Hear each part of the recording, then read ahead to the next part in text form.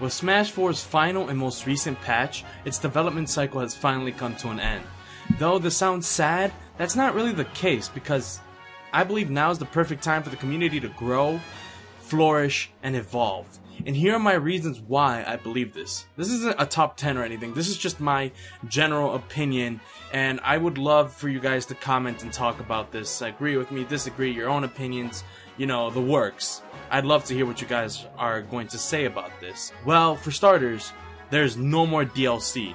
This is the final cast, which means now players have a chance to look at the roster and develop these characters. Like find new playstyles, new tricks, or something that completely changes the meta of said character. And yes, that is happening now and has been happening a long time ago. But again, I believe it's going to be happening a lot more now that this is the final roster. We're not going to have to be wondering um, who's going to be the next DLC. How is this DLC character going to change everything? You know, people thought Cloud was going to body everything. People thought Bayonetta was going to be the Sheik killer. You know, we can't be having any of that anymore. And people are going to be able to develop characters to fight against. Um, people are going to be able to develop like movements for these characters, play styles, and all these things. Now, for example, Greninja has been a character that I have not seen in competitive play. I have not seen a Greninja in Evo and Apex and PAX.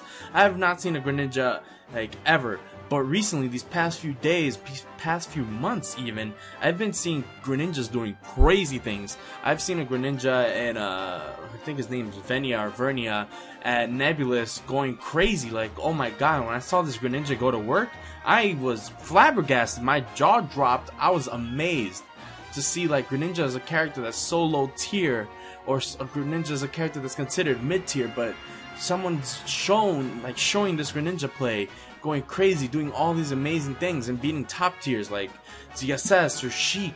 Like it's really mind blowing. Um, another Greninja that I've seen, as I bet you guys have seen it too, is uh, B6 Ice Studying. Um, I only saw him in Grand Finals versus Esam, but seeing how he developed and all these skills and all these moves, like it blew my mind. I've never seen a Greninja play like this, so I'm excited to see what new Greninja plays are gonna do or what new character plays are gonna do. Like somebody might pick up um, mid tier, like I don't know, um, Roy for example. I can't wait to see you know some new exciting Roy plays, some new exciting uh, Peach plays, you know? I want to see what the community is going to do, how they're going to change these characters, how they're going to mold them, you know, evolve them. Now, while I'm on the topic of the roster, let's talk about the tier list. Or better yet, the current metagame. Or better yet, the current tournament scene. I will not lie, I believe that the community has been spoiled to the point where people kept asking for buffs, nerfs, and other things. And now that they're gone, people can finally adapt. It's time for us to change, evolve, and become better players. We have to hit the grind. Now, if you have a problem with Sheik's brokenness, or Bayonetta's Witch Time, or Sonic's safe moves, well, guess what? You have to find a way around it. Because I believe that Sakurai isn't going to patch it anymore unless something game breaking happens. But this is the final patch. This is what we have. This is our melee. You know how people have to deal with melee Fox? Well, we're gonna have to deal with Smash 4 Sheik, Smash 4 ZSS, and things like that. We're gonna have to learn to deal with it. Or better yet, how top players such as Zero, Esam, Anti, or many other top players have said, we have to learn to adapt. And again, these things have been happening since the beginning of the game, but I believe it's going to be happening a lot more, like way much more, now that there's no more patches. And another thing that I cannot wait to see is the rise of new smashers and people to become new top players. Like, I, for starters, I don't know any top players, any new rising stars, but so I'm going to use myself an example.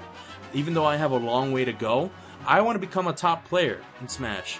And the only way for me to do that is for me to adapt and grow and change and now that this is the final patch, I can take the game for how it is and absorb everything. And absorb everything. Like, know my character's strengths and weaknesses.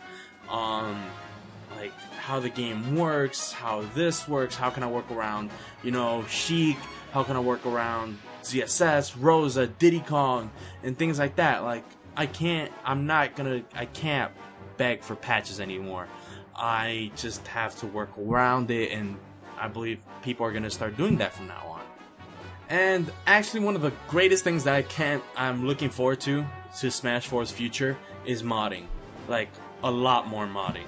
Like, yes, I believe modding, like, yes, I know modding has been happening for a long time, but modding, I want, like, more of it. Like, I'm not saying I want Project M, um, but I want character models, you know, modding, like, modded character models, custom music, custom stages, you know, things like that. Me, for example, I want to see a bearded Ryu costume. My god, I love that from Street Fighter V. I think it's amazing. And I want that in Smash 4. And while we're at it, I want a bearded Mario. And you know what? I also want a bearded Peach costume. Because the realm of possibilities is endless. This is where the community gets to, you know, grow and flourish and mold this game and break it apart and then build it back up. This is the beginning of Smash 4's future. Like, this is where Smash 4 truly begins. Because the game is not dead because the development cycle is over. This is the perfect chance for the game to evolve, to grow, and to flourish. And I honestly can't wait to see what this game and its community will become in the next couple of years. Thanks for listening to me ramble on. I'd love to listen to you guys' opinions, your ideas. Um, really, I just want to know what you guys think of this video, or better yet, what do you guys think about Smash 4's future? I would love to hear that. I would love to hear what you guys think of this game, where you where you personally would love to see this community grow, or better yet, where do you yourself want to see in the future of Smash 4? And you know, if you enjoyed this video, leave a like. If you want, if you enjoyed this video and you think you know other people who would enjoy this video, pour this video out. I don't care. The more the merrier. Um, and if you want, subscribe. You know, because subscriptions are nice, I guess. And thank you once again for watching. And I'll see you guys on the battlefield of Smash 4. Bye, guys.